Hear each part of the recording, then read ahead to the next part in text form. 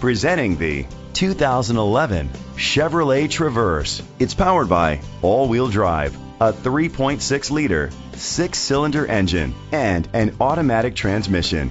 With fewer than 35,000 miles, this vehicle has a long road ahead.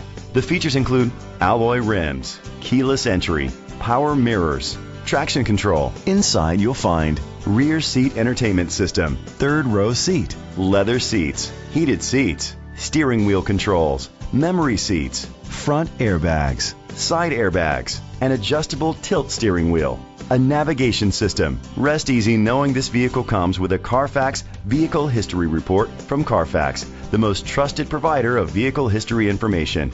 Great quality at a great price. Call or click to contact us today.